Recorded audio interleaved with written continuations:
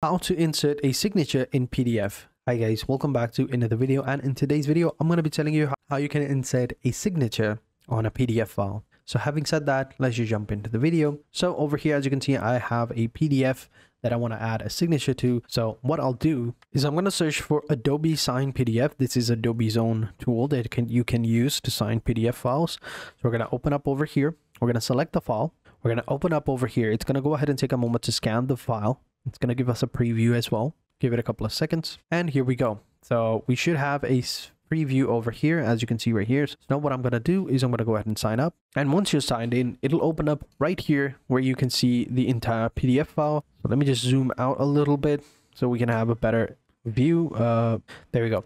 So as you can see over here on the left hand side it's giving us the option for the e-signs over here. So i'm going to skip the tour. You can see right here we have e-signs. We can go ahead and add a signature or an initial. So if we click on add a signature over here you will have your own name over here that you can add.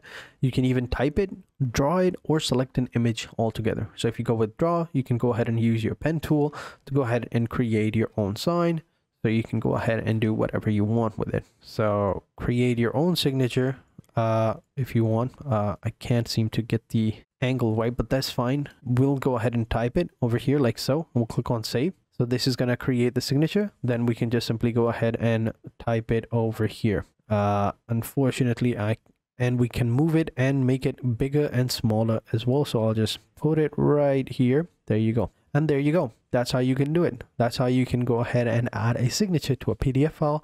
And then you can go ahead and just simply download it as well by clicking on the download button and save the format. So there you have it. That's how you can do it. That's how you can insert a signature in a PDF file. So having said that, thank you for watching and until next time, take care and goodbye.